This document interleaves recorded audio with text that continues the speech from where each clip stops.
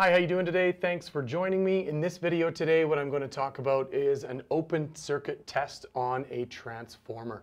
So as the name indicates, we are going to leave the secondary side of our transformer open circuited so that we don't end up with any secondary current. Because as soon as we have secondary current on our secondary, it immediately starts to increase the value of primary current on our transformer through transformer action.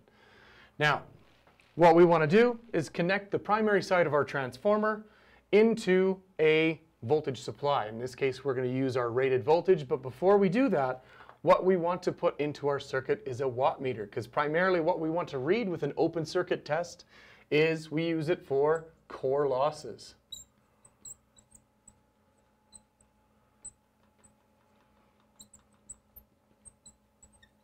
What type of losses are we going to have in an open circuit test? Well, as soon as that magnetic field is established by our exciting current, because as soon as we actually connect this into a voltage supply with no secondary load, the only type of current we're actually going to see is exciting current. That exciting current builds up our magnetic field in the core of our transformer. And because we have a magnetic field in the core of our transformer, we end up with core losses, which consist of, we have our hysteresis losses, which is that magnetic flipping of those domains inside the core, which gives us energy loss through heat.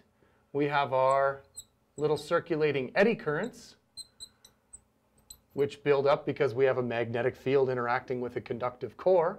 Okay? And we also have our flux leakage losses. Okay? I know that I'm going to have magnetic fields building up around our coils. Some of that magnetic energy is going to be lost in the air. There are better cores that we can use than our core type transformer that we have shown here. Um, but that's just to increase efficiency. You still have these losses in really any type of transformer. We can just minimize them a little bit. Now, before we put this onto our applied voltage, we want to put a watt meter in here. So a watt meter is just simply an ammeter and a voltmeter. Our ammeter is connected in series and our voltmeter is connected in parallel, but it's kind of all one thing. There's our watt meter.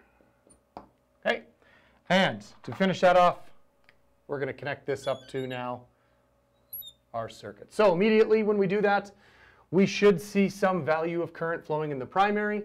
That is what we call our exciting current. And again, that exciting current is what's there to build up the magnetic fields, which inevitably gives us also losses.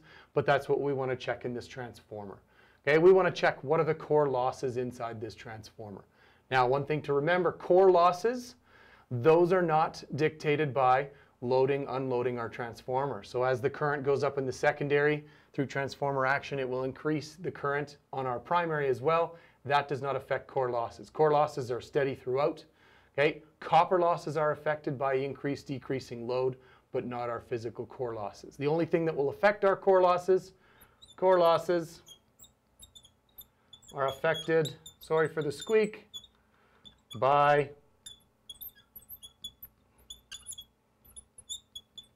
applied voltage. That's a loud marker. Okay, so hopefully this has helped, uh, and hopefully we'll see you next time. Thank you for watching. Bye-bye.